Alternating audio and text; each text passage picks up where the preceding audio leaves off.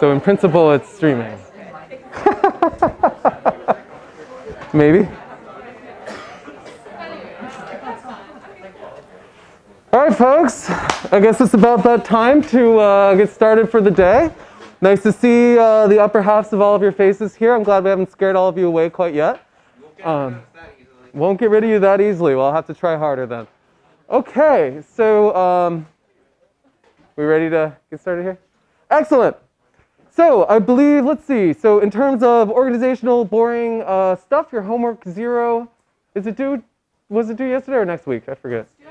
Friday. Sorry, shows you what I know.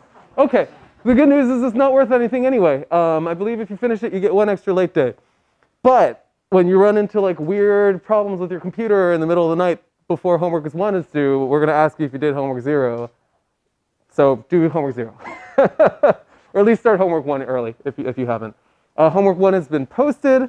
Apparently, at least one student has run into some problem uh, making it not crash his laptop, so we will double check that. Um, but that's surprising to me because it's basically the same code base as the previous assignment. Um, so we'll, we'll, we'll figure that out. Uh, any other, any questions or, or concerns just organizationally? Yes? Oh, um, is there a way to import .object files that don't require external vectors? Because the functioner requires vector That's a detailed question about our assignment that maybe we'll save for Piazza. okay. Yeah. Any uh, kind of general questions to uh, organizational homework deadline, that kind of thing?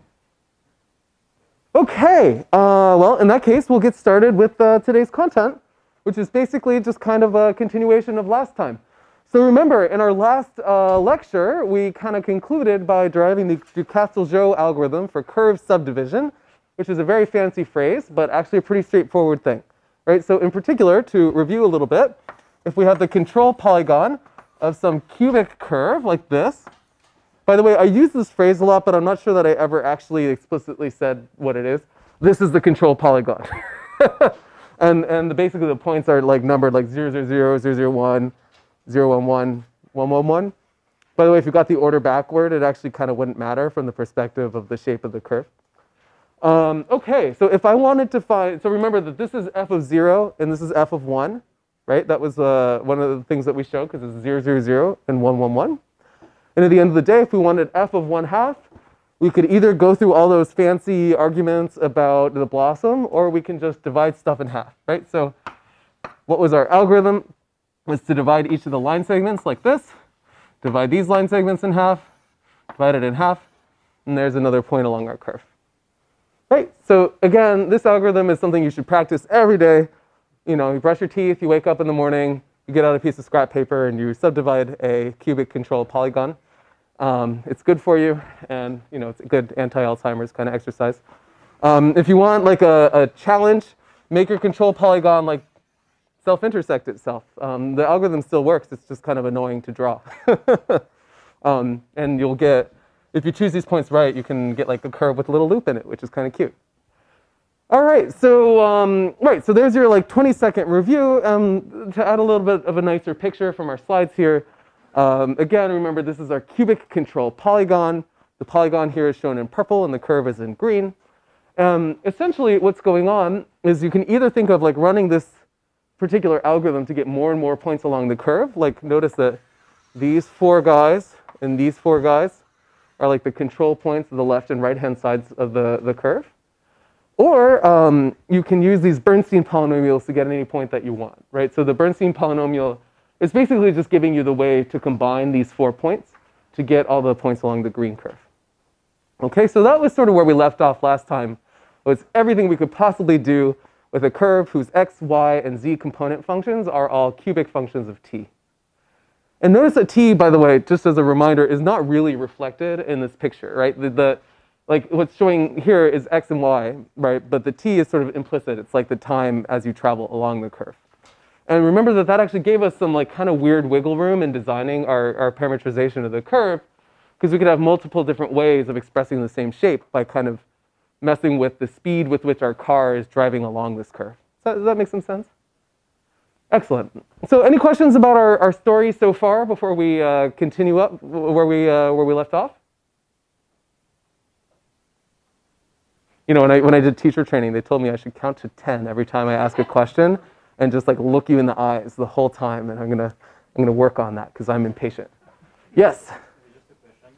Good. In practice, do we always like uh, normalize everything between zero and one on each part of the curve, or That's a good question because, like, in essence, so the question was like, does it have to be zeros and ones? And the answer is absolutely not. Like, in, in principle, this is really one half, one half, one half. Uh, if you want to stick with the same cubic, so there's sort of two different op- uh, uh, options which turn out to be the same.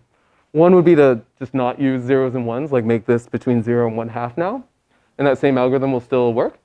Um, alternatively, it does turn out that if you relabel these as like 000, 001, 011, and 111, then somehow like there's a kind of recursive scaling that happens there and, and it's the same curve geometrically. So again, that's a great example of what I just mentioned, that there's a lot of different ways to parameterize a curve in terms of like the speed that you use to drive along it, and that would be one example of, of such a change of variables. Great question. Any others? One, two. Okay. So here's the thing. Uh, so far, the curves that we've managed to draw in our class are kind of boring. Like they look like this. um, and the reality is that you know my whole goal in computer graphics is to replicate my, my favorite figure from a math textbook, which is this one. And of course, drawing this with a single cubic curve, I would argue, is probably impossible. Moreover, fitting like a really, really high dimensional or high degree polynomial to this object would probably be not so advisable. And so instead, essentially, we're going to use a different strategy, which I kind of alluded to in our last lecture, and today we're going to fill in all the details. And that is to construct this object called a spline. Okay, so a spline, I'm sorry I keep messing with my mask. I can like barely breathe. This was a bad choice. Um, right, a spline is a piecewise polynomial, meaning that essentially, for example, I could take one of these curves and then like just glue on another four control points. And now I have another curve, which is even longer. And that's perfectly fine, right? But the, this whole object doesn't have to be cubic anymore. It's just like the left-hand side was one cubic and the right-hand side was the other. And essentially, all the headache is going to happen with what do I do at this point here to make sure that those two points, those two sides kind of join together in a nice way. Right? And that's what we're going to try and work through today. So I mentioned this in our last lecture. Um, in case you're curious, the term spline actually dates back further than computer graphics. So here is the original spline. Uh, it actually comes from like shipbuilding and woodworking. so it used to be if you wanted to like draw a nice smooth curve like on a map or on a sheet of paper, one thing you could do would be to take a very thin piece of wood and maybe you heat it up in a very humid environment so that it's kind of bendy. And then like literally you would like stick little needles in this thing at the interesting points and then the, uh, the shape of the wood in between uh, would be what people refer to as splines. The amazing thing is, if any of you have taken variational calculus, I'm guessing most of you haven't because this is a computer science department, um, you actually can show that the object you'll get, in principle, like physically speaking, really is piecewise cubic. Um, so the object that, that we're computing really is a spline in, the, in the physical sense, which is pretty cool. Um, I've never managed to actually replicate this at home. I, I, I, keep trying with like little wobbly pieces of wood, and they just they just snap. I don't I don't see how architects actually do this. Incidentally, um, you'll notice uh, a lot of the terminology that we'll use in our lecture sounds like wood, and that's because that's where it comes from. So, for example, um, a very typical term to refer to these points along our curve that we're like gluing together is knots, and indeed, these are knots like you know on a piece of wood. Um, so that really is where this, this terminology comes from. It's a fun uh, Wikipedia page to learn more. Okay, so our plan for today. We're first going to do a, little bit of theory. And essentially the theory that we're going to develop um, is just to make sure that we understand what it means for two curves to meet in a nice fashion. Right? So we're going to have to talk a little bit about like curvature and derivative continuity and what we'll essentially learn is that there are different ways to describe the sort of degree of smoothness with which we can join together two curves. After that, we'll talk about one more basis for cubics. In case you didn't think we had enough, we're going to add one more basis. This is going to be called the B-spline basis. B-splines are really nice because they make it very easy to glue things together with high degree of continuity, but they're harder to control their geometry. What we're going to see is that they don't actually go through the control points. They kind of go inside of the control points. And then finally, uh, we have kind of an ambitious plan for today. We'll see how far we get. Uh, we're going to talk about surfaces. So we'll talk a bit first about how to take our representations of curves and make them just into representations of surfaces. There's some kind of obvious ways that you could do that. And then we'll talk about some other smooth surface representation. Namely, we'll motivate um, not just tensor products, which are sort of the basic ways to take splines and turn them into patches, but also subdivision algorithms, which are the sort of basic building blocks of a lot of the computer animation pipeline for geometry. Okay, so that's our, our plan for today. And again, I think I've, I've repeated myself about like 85 times, but basically the picture you should have in mind is this. Like we have two different objects and we're trying to glue them together and understand what happens at this point. That's what you should get out of today. So before doing that, of course, it's important to understand your enemy. We should talk about you know, precisely what it means to have two things joined together in a nice, smooth fashion. And so this is really the tip of the iceberg uh, when we're talking about differential properties of curves. When I say differential here, like differential is kind of code word for like calculus, but without the integrals. Yeah, and so um, essentially there's an entire theory out there, which is like the very beginnings of differential geometry, which describes kind of smoothness, curvature, bendiness, like whether there are kinks in curves and so on. And we're just gonna talk today about some of the basic definitions that we need in order to motivate how we're going to do this in practice. Okay? So um, incidentally, by the way, if you like this kind of thing, this is precisely what my 6838 course does for an entire semester, is a lot of this kind of differential style stuff. Okay, so to get started here, let's say that we have a cubic Bezier curve. So here's our, our favorite formula, right? So here I have plugged in, um, anybody remember the names of the functions here that are sitting next to the P1, 2, 3, 4? Bernstein, that's right. These are the Bernstein polynomials right? And essentially, this is just some closed form expression for a cubic uh, curve which goes through P1 and P4 and uh, kind of goes in these other two directions, right? This is the schematic that we've drawn quite a bit. So the very first thing we're going to do is compute the velocity. So like if we think of this, think of that t variable kind of like time, right? So then like t is like the position of a car driving along the curve, and then we're just varying time between 0 and 1. By the way, that car does not have to drive with constant speed. In fact, it probably does not, the way that we, we've written it here.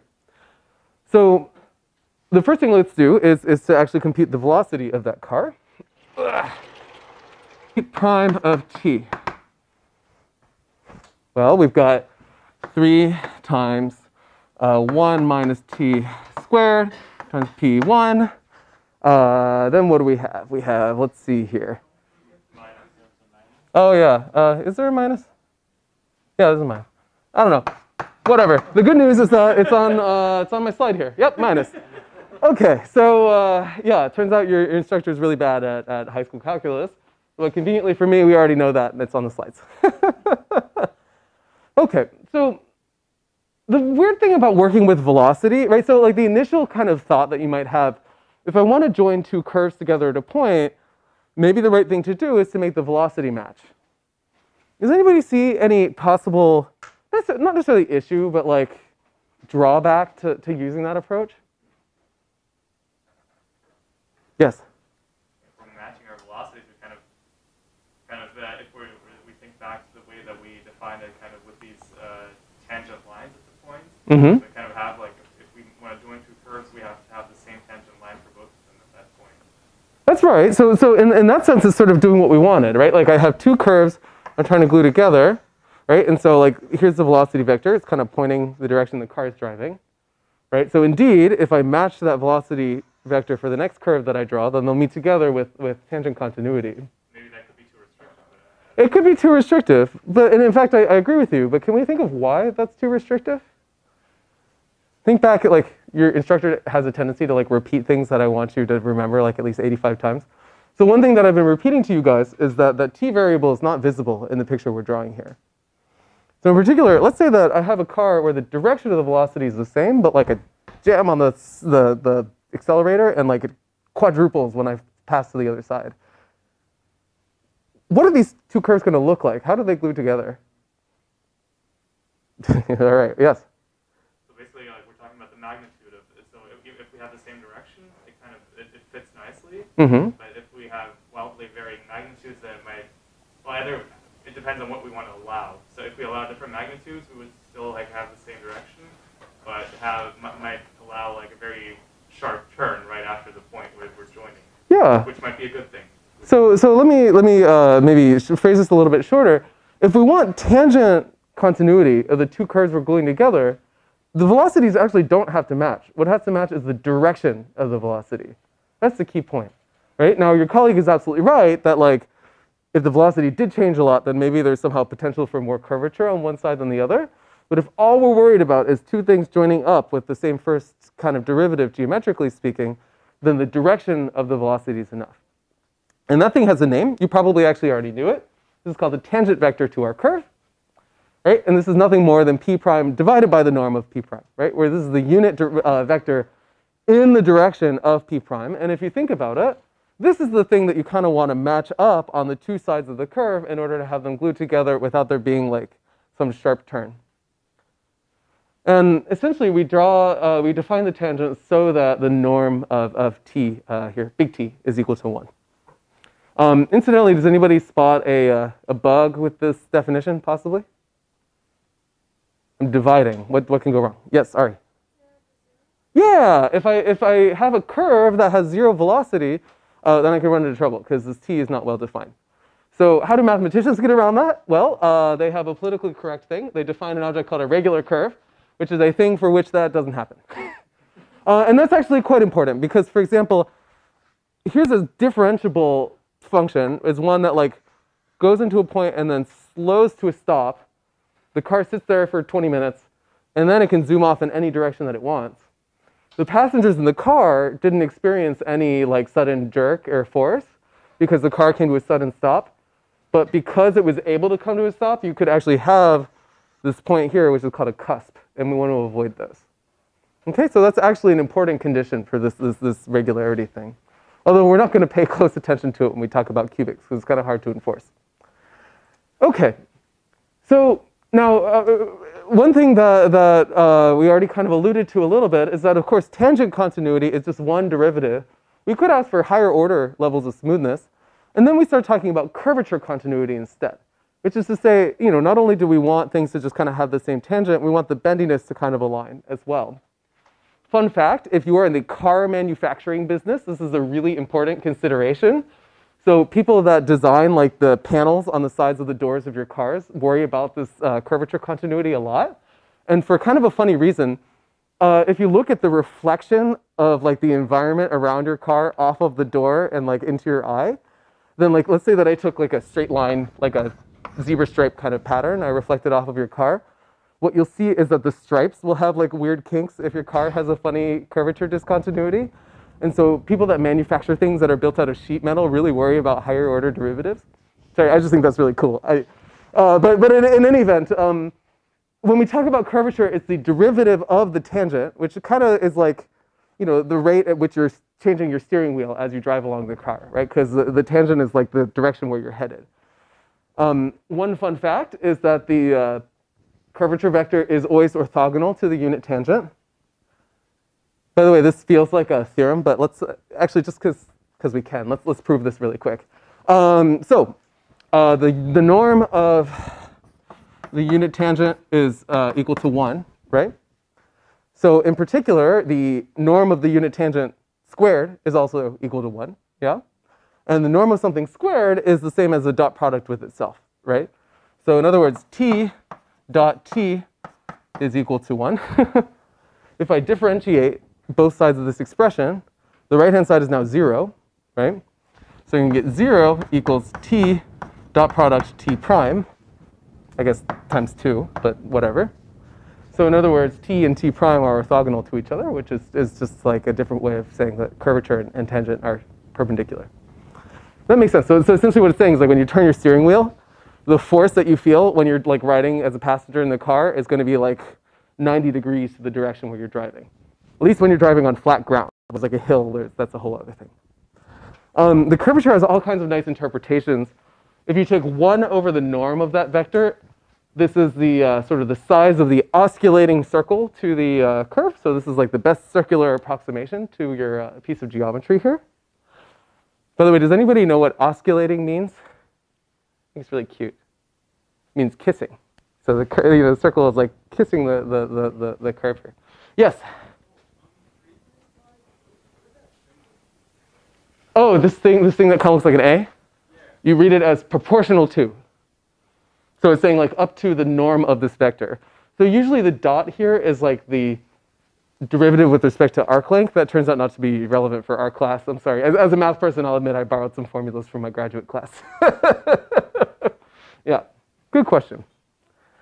Okay, but the one last thing that we're going to do is take that curvature vector and divide it by its norm, and that gives us the normal vector, which on a curve in the plane is, you know, we already know that it's orthogonal to the tangent. There's only so many ways to make two things orthogonal in the plane, so it's basically just taking the tangent to your curve and rotating it 90 degrees.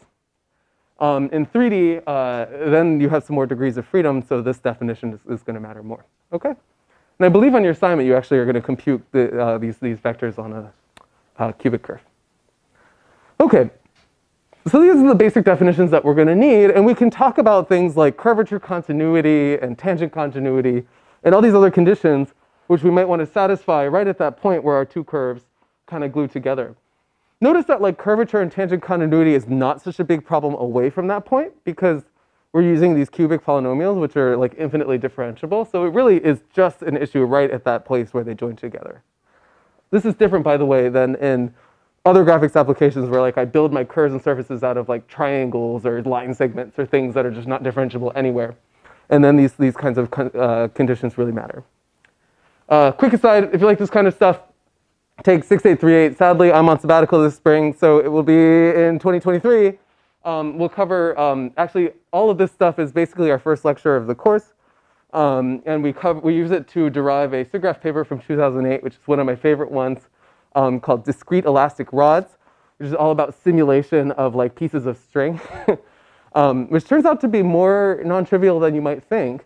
You know, it feels like a, a piece of string is just like some one-dimensional object, but it's actually more complicated than that. If you take a piece of string and you just start twisting the end, then eventually in the middle of the string, the material will buckle on itself, right? I encourage you to try this with your like laptop cable or your shoelaces. And um, that kind of thing can't really be captured if you think, like if you use what we've developed in this course, like a curve, then you've kind of lost that twist aspect, right? Because like somehow you, you, you've forgotten what happens along the curve in like a spirally fashion. And so there's actually a lot of information to keep track of that's like hiding inside of this, this method that, that you think would be so straightforward. Way, does anybody know the name of that little buckle? It has a name. Called it plectoneme. Fun fact. Okay, so let's get back to uh, 6837. Um, so I, have kind of hinted at this before, but essentially when we talk about smooth or differentiability, the kind of point that I want to drive home to you all, even if you're not following every equation here, is the fact that there's what it means for things to join together smoothly as a function of t or of time. And then there's what it means for things to join together smoothly geometrically. Now, those are not the same. And in fact, it's not like one is a superset of the other. It turns out they're just different. And so here I show you counterexamples of both on this slide. So first, let's take a look on the left-hand side. So here I've given you, this is a cubic curve, right? The x and y components are cubic functions. So this is gamma of t equals t squared comma t cubed. Now, if I'm a passenger and that's my car driving along, that'll be a comfortable ride, right? It's perfectly fine. These are differentiable functions of t. It's not like there's something crazy happening. But if I look at the curve that it traces out on the plane, notice that it forms this point here at the origin, right, this cusp. And that's exactly the phenomenon that we drew on the board, right? Essentially, the car drives to the origin, comes to a halt for some infinitesimal amount of time, and then drives off in another direction. So what is the left-hand picture saying? It's saying that I can have a smooth function of t that makes for a non-differentiable piece of geometry. Does that make sense? That's, okay, good. Now, on the right-hand side, here I've, I've been like kind of a, a smarty pants and, and given you a really weird way to draw a parabola, which is to say when t is negative, I'm going to make my function gamma of t be t comma t squared. When t is positive, I'm going to make it t squared t to the fourth. Notice in both of these, the y component is the x component squared. Right? So this is just tracing out y equals x squared. But what happens at t equals 0?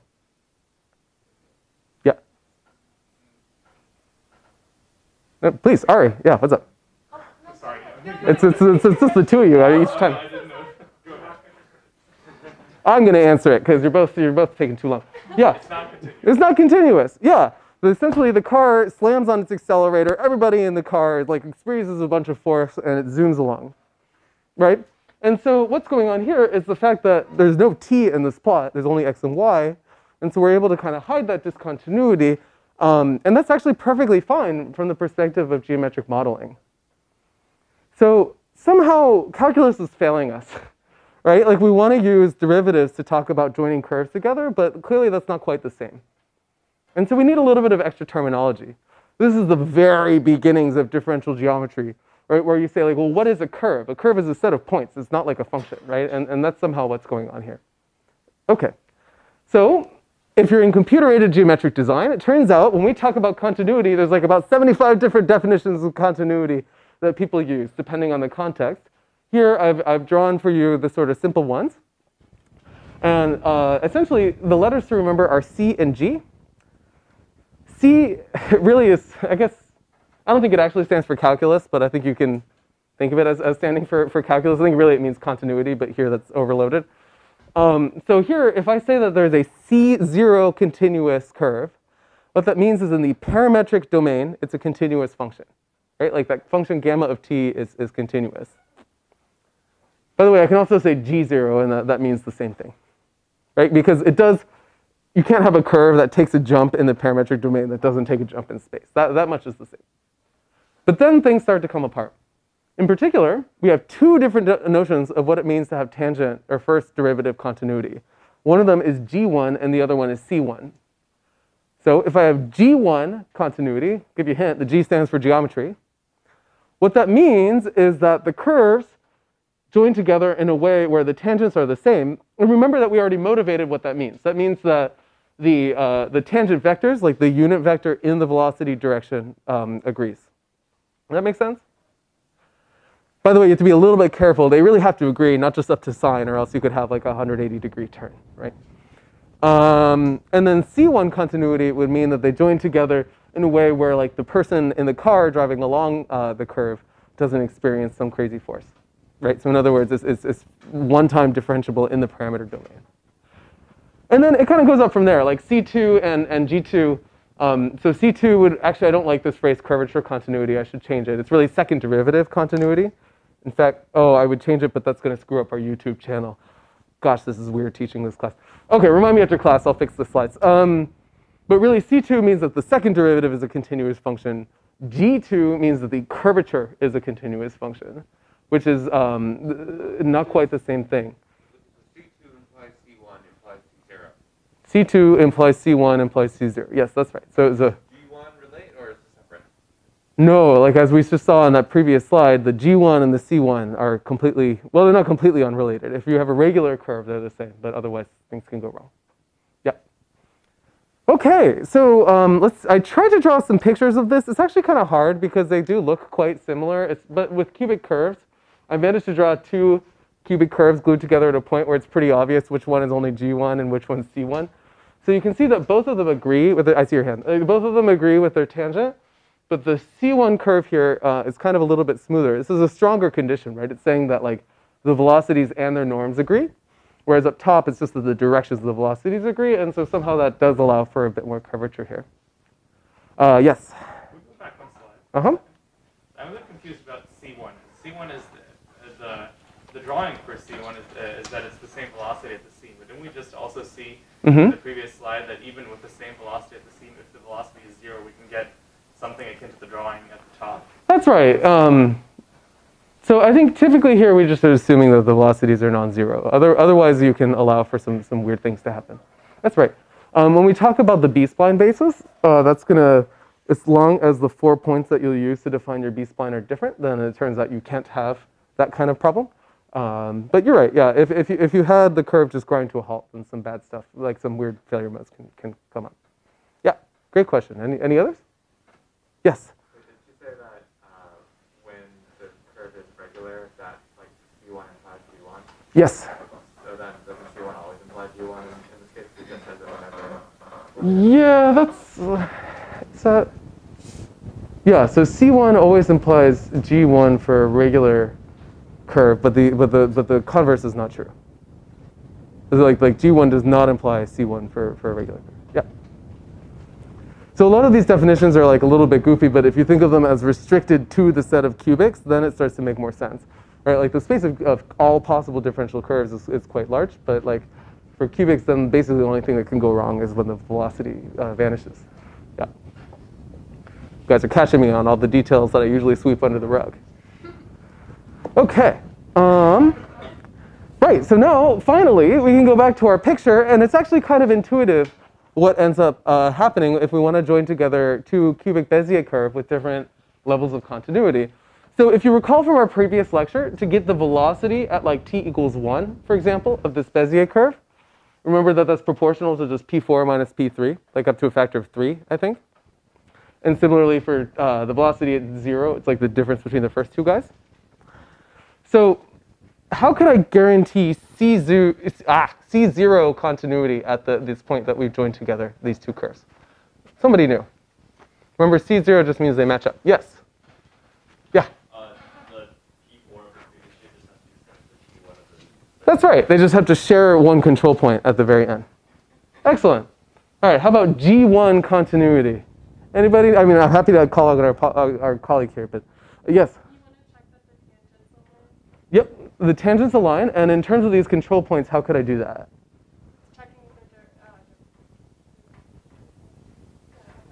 You're making the right hand gesture, but uh, yes. Making sure that the slope of like P3 to P1 is the same as P1 to P2. Yeah, that's right. So we have these two line segments, like P3, P4 on the first curve, and then P1, P2, and you want those to be parallel vectors. And now if I want there to be C1 uh, continuity, then, then what would I do? Yes, the back. Exactly. At that point, this is, those two vectors are the same instead of uh, parallel. Can anybody guess C2 continuity? It's actually kind of an annoying condition to work out. It involves the first three control points, and I don't remember what it is. There's, there's some formula. I, I don't know. Yeah. Um, and G2 continuity, I believe, is actually quite hard to check. It's like it's nonlinear in terms of these, these points here. Um, What does G2 even mean? G2 would be curvature continuity. So you look at the derivative of the unit tangent vector, and you want that to agree on the two sides.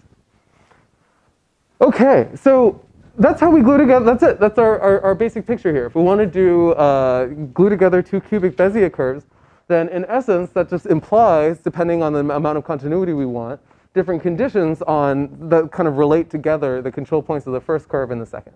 That's the, that's the basic takeaway here. So if you're really good, you can take a look at a picture like this. I'm realizing the resolution isn't great. Um, but you can kind of eyeball uh, some of the, the different red control points here and figure out where the curve is like C0, G1, or, G, or C1 uh, continuous, maybe as its lowest, lowest, highest degree of, of continuity. So like let's say that I constructed this curve where like the first four points are the first segment, and then like the fourth point plus the next three is the next segment, and so on then uh, can somebody point out a location where it is only C0 continuous? Somebody new? Somebody new? Ah, you're close enough. Yeah, uh, the one that's like. Like this point here, right? Yeah, absolutely.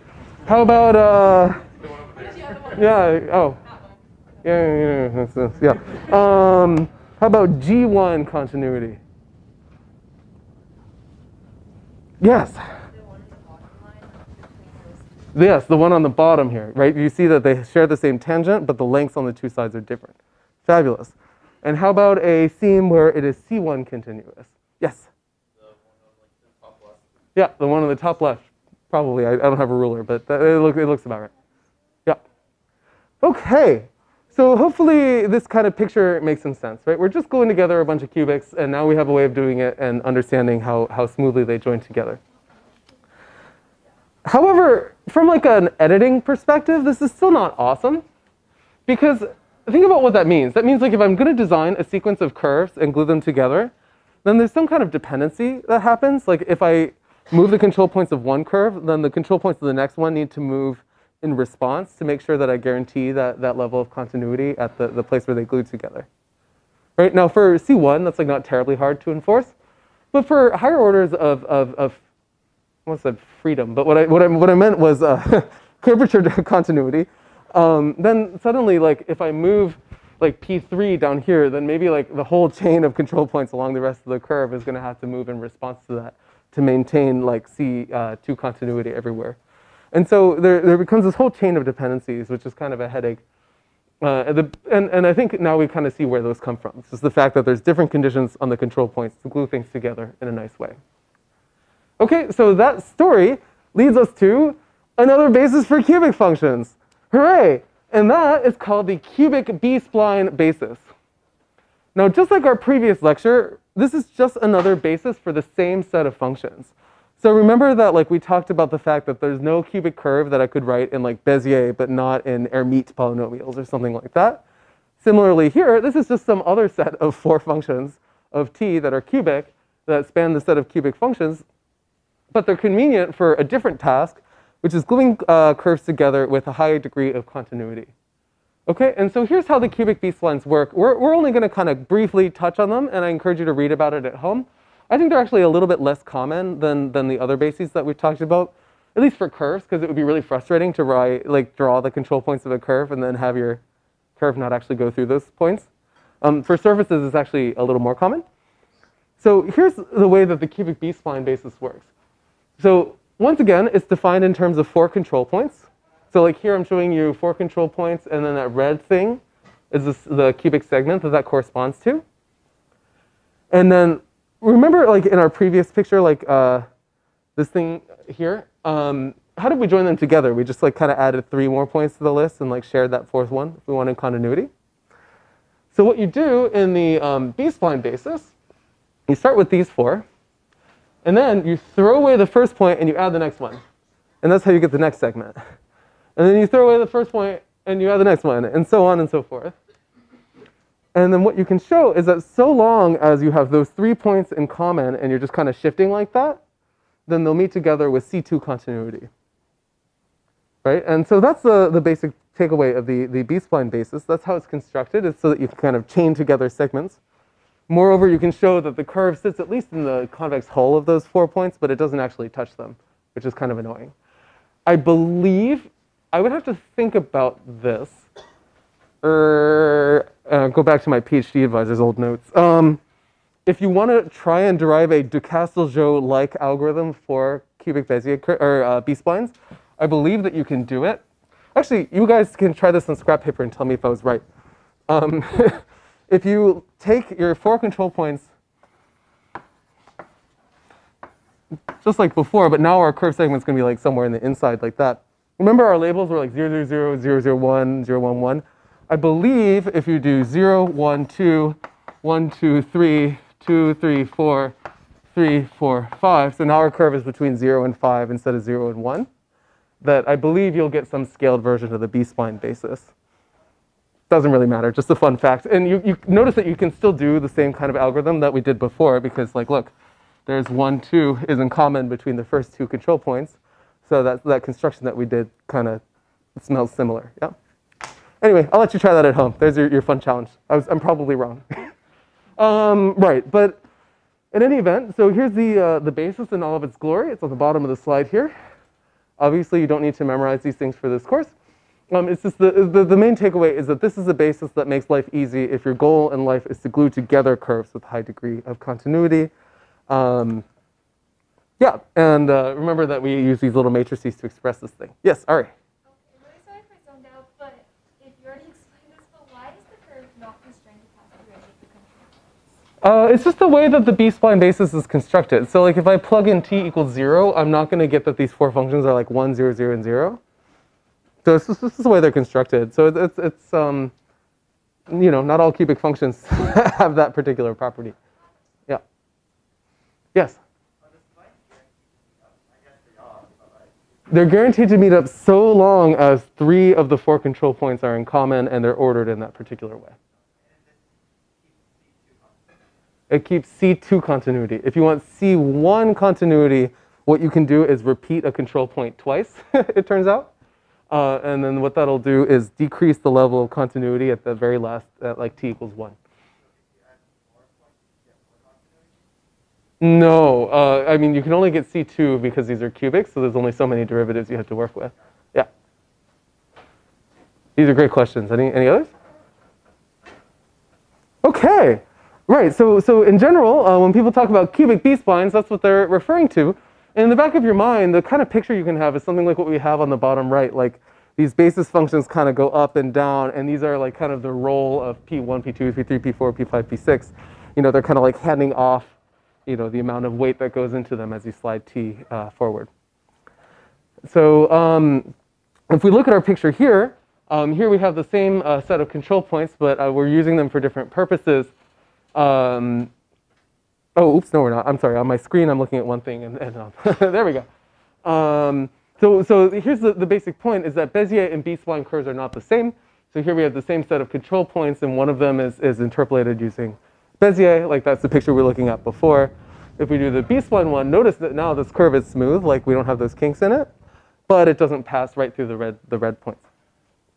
Okay. So in the slides, I think we can skip over it here, but we go through the same calculation we did like three times last lecture. If you want to convert between these bases, you can do that by deriving different matrices.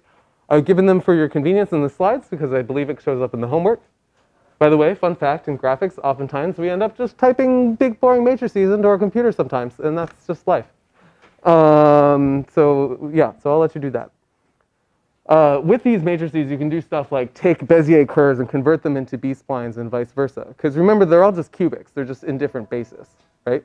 Uh, and so in essence, what is that doing? It's saying that like, if I want this little loop-de-loop -loop curve, like what I have on, on the left here, right? The control points for that are like this little bow tie shape.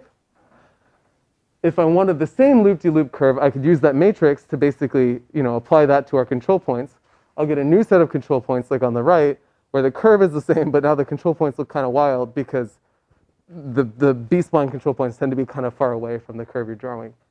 And similarly, we could do the opposite. So like, you know, you can, you can go one way or the other depending on matrix versus its in, uh, inverse. So that basically concludes our discussion of cubic curves. Finally, there's one additional thing that I should mention um, because it is just a common computer graphics practice, and so you might as well be aware of it. There's something called NURBS. Um, you probably have you have anybody encountered that term before? It actually shows up in graphics software sometimes. Like there'll be some option on a menu. Zoe has. Well, Zoe has because she wrote a whole SIGGRAPH paper involving uh, NURBS. Uh, but uh, in, in, any event, um, NURBS curves are that stands for non-uniform rational B splines. So let's deconstruct that phrase a little bit. um, so first of all, the non-uniform uh, part of the phrase is referring to the knots. So like here we have 0, 1, 2, 1, 2, 3, 2, 3, 4, 3, 4, 5. If instead I made that like 3, 4, 6, then I would get a slightly different piece of geometry. That's a little bit of a technical point. But the more important point is the fact that NURBS curves actually have the x-coordinate, the y-coordinate as a function of time, and then a w-coordinate, uh, which feels weird because w isn't a thing on your computer screen. But the idea is that you take x and y and you divide them by w before you draw it onto the screen. Does anybody have any idea why that might be useful? So now x, y, and w are all um, cubic functions. So remember, ah, yes. Go again?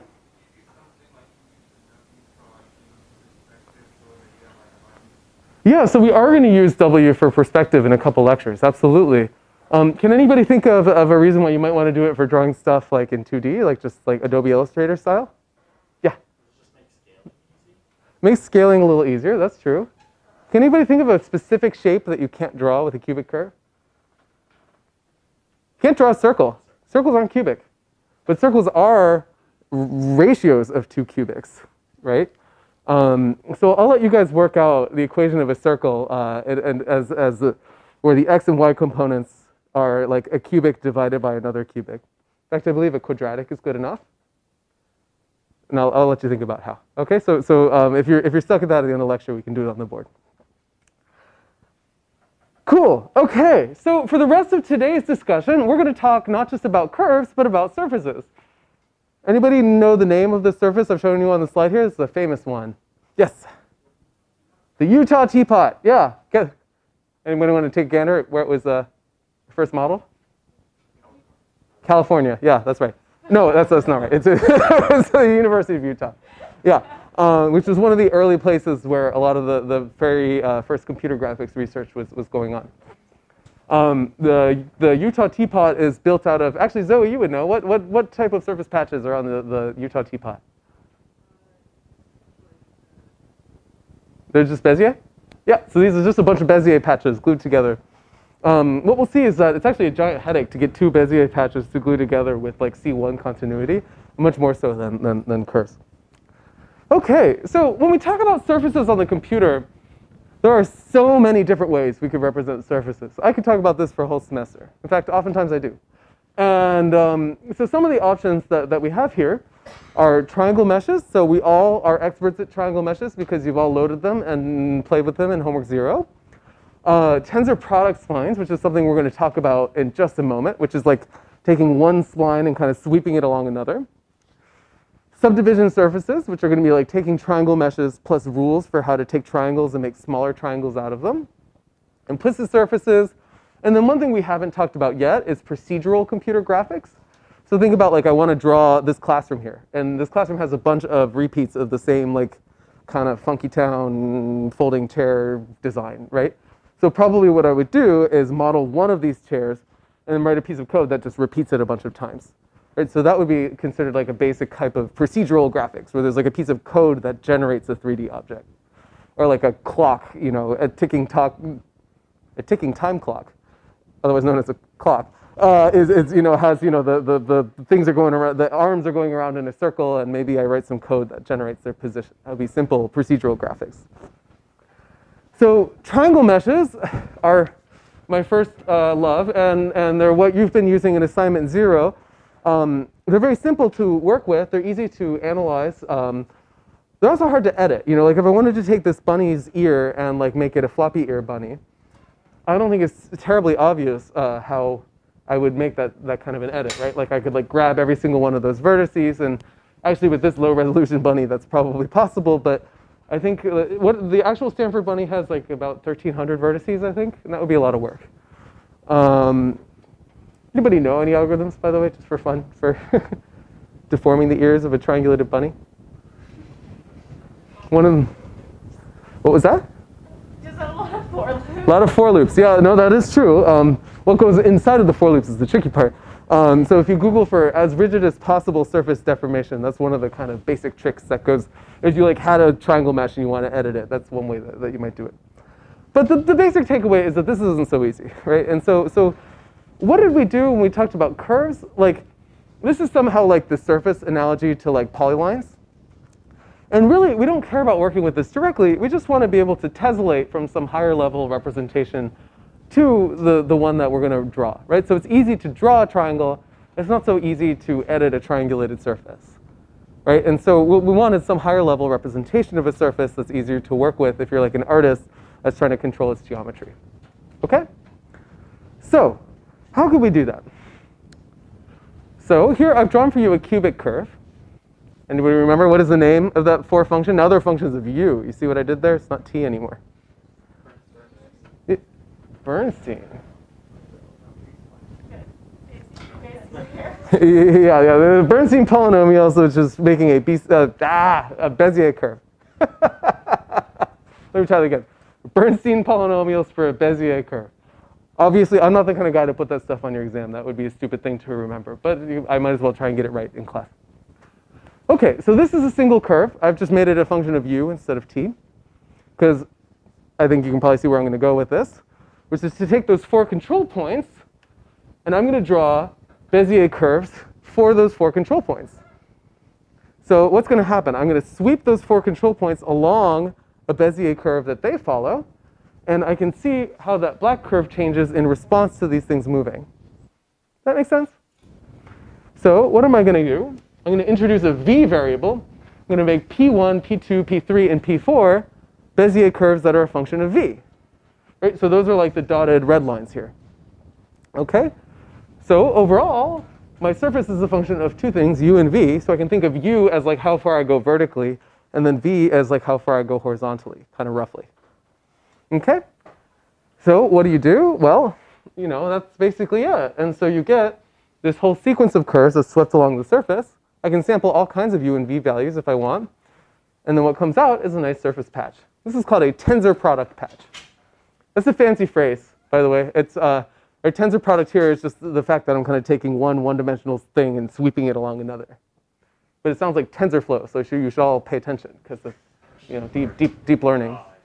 Um, okay, so uh, right, so essentially, that's the, the basic point here. That if we make the pi's themselves Bezier curves, you know, then what's going to end up happening is if I take like any vertical slice here, it's going to be a Bezier curve. If I take any horizontal slice here, it's also going to be a Bezier curve. Um, and what you get, if you want a fancy phrase for it, is a bicubic Bezier surface. The phrase uh, bicubic here is, is meant to kind of recall the fact that you're multiplying together two cubic functions, right? The cubic in u and the cubic in v. Notice that that means, by the way, that your whole patch is degree six in u and v jointly, right? Because you can multiply together two cubics. Um, there's a whole other branch of geometry where people talk about total degree surfaces, where it will be degree up to three in the two variables jointly. And then what you'd end up with is like a triangular shaped patch. But we're not going to talk about that in this class. So those, if you think about it, there's basically 16 points involved, right? Like four per Bezier curve. And so at the end of the day, these are the 16 control points that are basically determining the geometry of your surface patch. Does that make sense to everybody? Yes. How should we imagine this surface? Is it like in 2D? Is still like. I, Oh, I'm sorry. surface- So we're moving into 3D here. These are, you can't tell, these are, these are points in 3D. Okay. Yeah. Uh, that's right. So, you know, the best picture I have here is, is this kind of thing. Yeah, these are, you're right. That like a, a surface in, in 2D would be just like a, a complicated rectangle. Yeah. Okay. Yeah. So all the points have three coordinates. Yeah, everything has three coordinates, but everything is the, the same. There's really nothing different. Yeah. Good question. Sorry about that. Okay. So if we wanted to, we could actually plug in our favorite Bernstein polynomials into that expression and just kind of crank out what our formula would look like for this, uh, this bicubic tensor product patch. And what you get is, you know, something kind of well, you know, beauty's in the eye of the beholder, uh, really. Um, but remember our, our basic formula. So on the top of the slide here, right, what is going on? So here, the P, uh, P of V are like the control points of a Bezier curve. So here the B is like the Bernstein basis. And now each of the P's as a function of V is also a Bezier curve. So I can plug in this Bezier curve function, which is the second line here. And the shaded blue formulas, I could write this on the board, but I think it's just one of these math arguments that I think most of us could probably kind of guess where it would go, even if you didn't have, you couldn't replicate it at home. So here, if you think about it, the outer sum is like the Bezier curve in U, and the inner sum is how to get the control points of that by following the Bezier curve in the other direction, right? That's what's going on here. And if I pull out the double sum, then the one nice thing that you get is like kind of a symmetric looking formula. So these Bij of u and v is really just the product of two Bernstein polynomials, one in u and one in v. That makes sense? So these are the sort of basis functions for your, your, your cubic patch. These are the kind of calculations that kind of don't matter until they do. You know, like someday you're going to have to code up a cubic patch and you'll have to type all these things into your computer and it's kind of annoying. But until then, it's easy to like follow along with the high level aspects of this kind of calculation and say like, yeah, I could see how somebody could do that. What is J range from one to three and not one to four? Why does J range from 1 to 3? Because I made a typo. That's why. I would change it, but that would throw off our YouTube streaming. Yeah, so remind me at the end of lecture and I'll, I'll fix that. Thank you. Good catch. I, I went through all of the slides that I inherited for this course and I LaTeX them to be nice, and apparently I did a sloppy job. Any other questions? Excellent. Okay, so as a, a quick uh, re- recap, our, our tensor Bezier patch here is basically a function p of uv, where if like I trace along a u or a v isoline, what I get is back a, a cubic curve. This is defined by 16 points. The way that we defined it was kind of recursively, right? Like take four points and then sweep them along a Bezier curve. Notice that I could have done the opposite, like take the four points on the bottom and sweep them up. And that formula that we, we had on the previous slide kind of justifies that those are actually the same, which is good. Otherwise, somehow there like wouldn't be order in the universe. Okay, so there's our first uh, example of a surface patch. You can now go home and do 3D modeling, which is great. Um, a few things, like remember that we talked about like figuring out how to join curves together with different levels of, of continuity.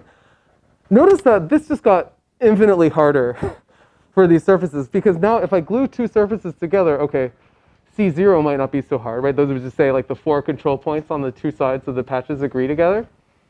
But what would C1 look like? Well, it's kind of complicated because now it needs to be C1 all the way along the entire seam. And that's actually not so not so easy. So so we'll, we'll kind of defer on that topic and you guys can read about that at home.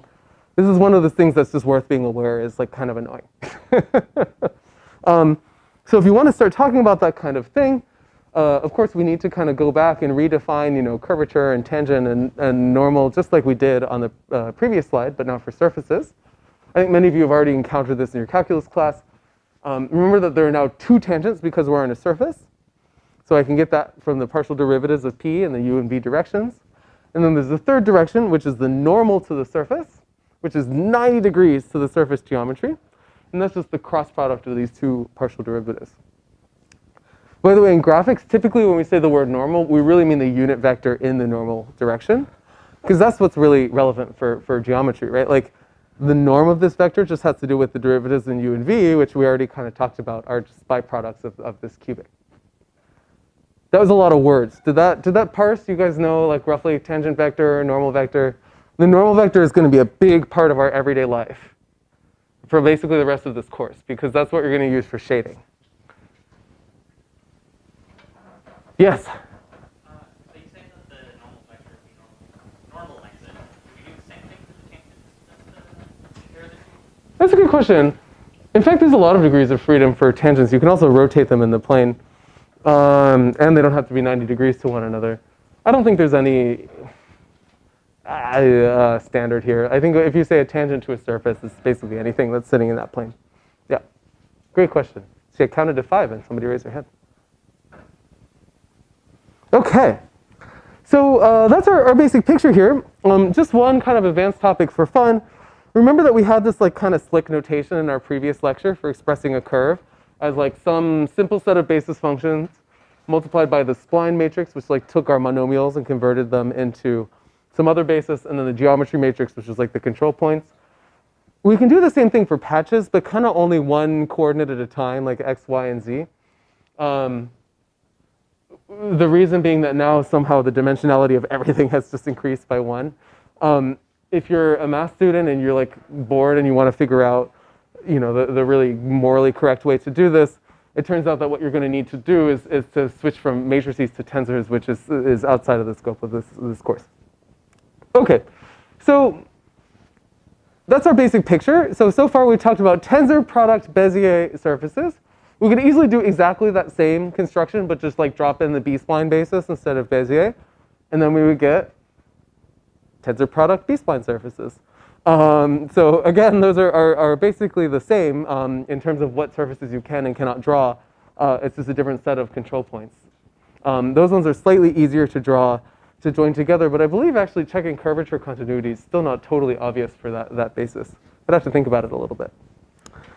So there are pros and cons to using these kind of tensor product uh, representation. The pros are that, at least in the inside of that rectangle, they're, they're smooth patches, and they're defined by a reasonably small set of points. They're harder to render, um, and it's, it's quite tricky to uh, ensure that there's continuity at the patch boundaries. There's also one additional issue, uh, which is kind of hiding here. What if I wanted to draw a triangle? like, like, you know, like the sail of my, my sailboat. How easy would that be with like a, a tensor product surface? Well, it actually is not so straightforward because the tensor product surface is a, is a rectangle, right? And in fact, there's kind of a topological problem hiding here, which is if I have a surface, I need to be able to paint on rectangular patches and have them all kind of glue together in a way that covers the whole surface. That itself is not entirely obvious. Um, in fact, if you take certain geometry courses, you'll cover a topic called quad meshing, and you'll see that just the task of covering a surface with like rectangular patches implies certain like weird singular points and, and some really strange structure. So just exclusively working with these tensor product patches can be a little bit tricky. There's a technique in computer-aided design called trimming, where what you might do is take that rectangle and then define some other curve of like where you want to cut it off and remove the rest of the surface. And I believe that's what uh, people do in practice. By the way, hopefully you guys are getting the pattern here where we're going to do like some simple calculation and the basics of something. And then I'm going to give you a bunch of vocabulary words and pointers to like here's some cool things that people do that you're not necessarily responsible for. I should point that out explicitly. So like if some of these things blow past and you're like, what the hell is he talking about? That's actually like kind of okay. okay. Uh, the most famous uh, Tensor product, uh, Bezier surface, is the Utah teapot. Um, here he is. Uh, unfortunately, because it was designed in like the 70s or 80s, uh, if you borrow the original image of the Utah teapot, it's kind of hard to see because it's pixelated. Um, but indeed, it's actually built out of those, those basic patches. You can download them all online. It's a very famous mesh. I have about 10 of them 3D printed in my office. Um, it's, a, it's a thing. Uh, one small extension, by the way, notice that these surfaces are pretty smooth. And so one thing that people often will do in 3D graphics is something called displacement mapping. We'll talk a little bit more about this later in this course. But a very simple thing that people will often do is like represent the base geometry using something like a tensor product patch. And then on top of that, paint some more complicated texture, which you might use to like displace the, the, the vertices of the uh, tensor product patch. I think this is actually pretty widely used in, in movies and, and, and games because it's a nice representation. It captures the coarse stuff and the fine stuff in sort of two different ways. Yes? Go back to the teapot real quick, the conventional processing. Um, I'm not sure I understand like the whole continuity thing super well, but if you like just took a single patch, you like just stretch like you stretched it really far out, would the surrounding patches also like kind of work with it, or would it No, that's a good point. So Martin Newell had to work very hard to make these, these patches glued together in a way where you don't see like a giant seam down the side of the teapot, right? And so if I took even the inner control points of the teapot, if you think about it, that would be affecting the tangent on one side but not the other, and you'd end up with like a kink there. Yeah. When when you have like a tool like the warp tool, if you want to like like in a graphics application, does that like kind of um, mess with those rows of continuity? Yeah. So if you if you basically if you mess with the individual uh, control points, then yeah, you can you can mess with the the con- continuity, the way they glue together. That said, I think a lot of these warp tools are basically just affine transformations applied to all of the vertices at once, and then it probably doesn't. So like if you mess with just one patch without knowledge of the other, that's when when you can get in trouble. Yeah. Any other questions? Alrighty. So uh, here's another example of displacement mapping, by the way. This is a very typical like kind of production model. So like on the left-hand side, you have these, uh, these quad patches. Notice, by the way, that they're really interesting structures. The more you stare at these quad meshes, the cooler they are. I'm obligated to say that because I study them professionally. But like, for example, if you look here, there's a vertex of degree three. Um, and, no, and that's actually necessary. So like, even though you have these quad patches, sometimes they don't meet together in like plus signs. Um, and then on top of that, you know, like his hair follicles and so on are probably just stored as like a JPEG that's wrapped around the, uh, the quad patch. Okay, so for the remaining discussion today, and as usual, I'm talking too much, so we might end up having to do some of this in our next lecture. We're going to talk about subdivision surfaces. And these are important to know about because this is really what gets used in production quite a bit. So the idea of a subdivision surface is that we start with a coarse mesh, sometimes like a control mesh, like the left-hand side. And we're going to come up with a rule that takes the vertices and triangles of that mesh and just makes a smooth mesh with more vertices out of that. And you can just apply this recursively to get more and more vertices. Like we mentioned, I think in our first lecture, a big landmark in subdivision and also cloth simulation, by the way, was this Pixar short Geri's Game. I highly encourage you guys to go uh, home and watch it. It's, it's also just very cute. So the simplest subdivision algorithm is something called corner cutting. And corner cutting uh, is a way to make a smooth curve out of a, a polygon, like what you see here. And exactly what it sounds like. So I can take every line segment in my uh, polygonal curve here and divide it into like one to three ratio kind of segments. The three doesn't matter here, by the way. And then I can just chop that corner off. I did a bad job of this because the line segments moved a little bit, but they, they really shouldn't have. And I can do that with all of the corners. And then notice it already starts to look a little smoother. And I could now say, well, that's the input to my corner cutting algorithm, and I could do it again and again. And eventually, I'll end up with something that actually ends up being a quadratic B-spline. In fact, this is one way to derive that B-spline basis, is it's actually just a byproduct of a one to three corner cutting uh, algorithm. This is the Chaikin's algorithm. I never knew how to say that. I'll let you Google it. Um, but essentially, this is the kind of cool thing that people notice about these subdivision procedures. That a lot of these techniques where like empirically, it's kind of easy to make a smooth curve by like taking a curve and like cutting little pieces off and then just doing that over and over again. Actually converge to things that happen to be in like the B-spline basis or something. Uh, and this is kind of a nice mathematical thing that happens. Uh, yes? Does this converge to the B-spline basis in particular because we chose one the, the ratio? I believe the one to three is the thing that leads to the B-spline specifically. Um, incidentally, you can put in imaginary numbers and you'll get a fractal. Fun fact. Um, okay, so, uh, right. Um, so that's the, the high-level idea of subdivision curves and surfaces. You're basically just cutting off corners to make things smooth. And you can add points, compute weighted averages of neighbors, and so on. And there are similar rules for surfaces, but they, they end up being a little bit more complicated. Um, so typically, we have to talk about a base for subdivision and a subdivision rule, right? So the base would be like the basic surface that like the artist is working with, and then the rule is how to take that surface and make a dense one out of it. So two typical bases, one is triangles and the other is quads, like what you're seeing here. These would be kind of a dense one, admittedly. They'd probably be coarser than this in practice. And this leads to the two major subdivision rules that are often used in graphics. There are many subdivision rules, by the way, but these, these are two uh, that are worth knowing. Loop and Catmull-Clark, a few things that are worth knowing. Uh, first of all, Catmull is a very famous name in computer graphics. He's also part of the leadership at Pixar Animation Studios. It's kind of cool. He got his PhD in computer graphics and made some of the fundamental stuff, and also is like probably very wealthy. Um, Loop is actually a person. I believe his name is Charles. Um, so there's that. Okay, so let's talk about loop subdivision. So there are two things that we have to do in our subdivision rule. We need to do topology and we need to do geometry. There's a complicated way of saying that I first need to tell you how to cut up our triangles, like how to make more triangles out of fewer, and then I need to tell you where to place the vertices. Okay? So let's talk about topology first. So in, in loop subdivision, we start with a triangle mesh, and we're going to make a finer triangle mesh. So here's one way to do it. I'm going to take every edge of my old mesh, and I'm going to insert a new vertex just topologically. So I'm just talking about connectivity. I haven't told you where to place it in 3D space yet. But I can, I can do that by just taking every edge and dividing it in, by, in two. And in effect, by adding these interior edges, what you end up with is dividing every triangle into four triangles. Does that make sense? Notice, by the way, that the valence, like the number of neighbors for all the interior uh, vertices here, is always six. It turns out to be a magic number.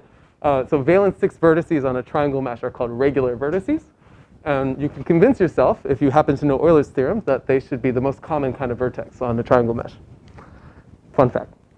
Okay, so, uh, right, so we would call this a semi-regular mesh, which is a mesh where most of the vertices are, are valence 6. These are just some vocabulary words. So what have I done so far? I've just told, told you a way to take a triangle mesh and insert a bunch of vertices, yeah, and, and make a new mesh out of it. But let's say that I just did the obvious thing, like I just put these vertices like at the midpoint of the two red guys. What would the subdivision, what would the subdivided mesh look like? Yes? Yeah, it would look like the original mesh, right? Like I just took every triangle, I divided it into four, but like I didn't make it any more bendy. I just like made more triangles that were flat in the same plane. Right? That wouldn't be too exciting. So the other piece of magic that I need in my subdivision rule is to place those blue vertices and maybe move the red vertices a little bit so that the resulting surface is smoother than what I had at the previous subdivision level. Yeah? Now, I expect you to all memorize this very quickly. There'll be a quiz next time. Here's the loop subdivision scheme. Uh, that's obviously a joke. I'm sorry. I know I should be careful with that. Um, so, uh, right, the, basically what, what the loop subdivision uh, scheme does, and the, really the takeaway here is that there's just a bunch of weighted averages going on. So in particular, the first thing you do is for every new vertex, like where you subdivide an edge into two, uh, it's basically a weighted average with weights 3 eighths and 1 eighth of the four uh, neighbors nearby. These numbers, by the way, I believe were just guessed by Loop, and it turns out that they, they, they are pretty nice. Uh, and then um, you actually have to move the red vertices too in this particular uh, subdivision rule using this, this kind of 1 16th weighted average thing. If you tool with these different weighted average numbers, you'll just get different subdivision rules with different levels of, of smoothness. By the way, notice that this, this rule really does depend on having valence 6, right? Otherwise, it wouldn't be a weighted average. So you need to do something special at those non-degree 6 vertices. So the loop subdivision scheme really does make for a provably smooth and regular surface. One kind of cool and interesting thing, if you're a mathematician, is that it ends up being not so hard to show that like when you follow a subdivision rule like this, you'll end up with something smooth. But it can be a lot harder to come up with an actual formula for that surface. So this is like a really weird universe where like you can convince yourself something smooth happens, but it's a little hard to know precisely what. Although many of these things do end up converging to like tensor product kind of things. So let's quickly talk about one other subdivision rule. It's called Catmull-Clark. I actually don't know a whole lot about Clark. I know, you know, Catmull's a big deal. Um, it's not Jim Clark. It's, it's not like the SGI guy. I don't know. I have to Google it. Uh, right, so Catmull-Clark subdivision is kind of nice because it doesn't rely on just having triangles. You can actually have any polygons for your, your control mesh. And it, and it looks a little something like this. So here, here's a generic mesh. It has uh, five vertices, you know, including a quad and a triangle. And remember our strategy. We have to define a topological rule first and then a geometric rule, right? We need to say how we're going to make new elements and then where to stick them. So Catmull-Clark does kind of a different thing than loop subdivision. What they do is you insert a bunch of points in the interior of every face. So here a face is like a loop with no edges inside of it. And we do what we did in loop subdivision, which is add an edge point. So now I should let you all kind of look at this set of blue points for a second. How do you think we're going to make this into a mesh? All right, so I want to make a finer mesh where the blue and the red points are the vertices of that mesh. Any ideas? You can kind of like, if you like squint at this picture, you can almost see where the edges are going to end up. Yes, in the back. One more time, I'm sorry. That's exactly right. So I'm going to take every center point and connect it to all of its, out, uh, its adjacent face points, like these light blue lines. And now I have a finer mesh. So there's our connectivity. Now we also need to do geometry. It turns out there's like a little bit of black magic that goes into the Catmull-Clark subdivision rule. I'm going to give you the rules but not motivate them terribly well. Um, so essentially it takes place in a few steps. So what you do is every new face point ends up being the average of all of its adjacent corners, right? So like this point I've circled in the center is the average of the four uh, corners of, of the original mesh. The edge point ends up being an average of the two new face points and the two new edge points. And then you also actually have to move the, uh, the red vertices, the original mesh as well. If you asked me to derive this rule, I couldn't. I actually am not 100% sure where it comes from, but if you take a CAGD course, I'm sure there's some very clever derivation. But again, the basic point is it's just lots of weighted average. You're taking like the vertices of the original mesh and you're like averaging them together to cook up new vertices for the subdivided guy. And there's like, for every set of weighted averages that you could think of at home, there's probably somebody out there that made a subdivision rule out of them. So here's what Catmull-Clark subdivision looks like. So on a very low resolution projector screen. So if you have this uh, like very coarse mesh on the left-hand side, um, and you subdivide it enough times, you can actually get pretty close to a sphere, which is pretty cool. Uh, and, and that's the basic point of, of subdivision algorithms. And, and moreover, this is, is, is basically how all this stuff goes. So the advantages of subdivision is that they can handle all kinds of top topology, right? Like it can be a little bit tricky to like glue together cubic uh, tensor product patches to make an arbitrary surface, but here it's just a triangle mesh, so that's not so bad.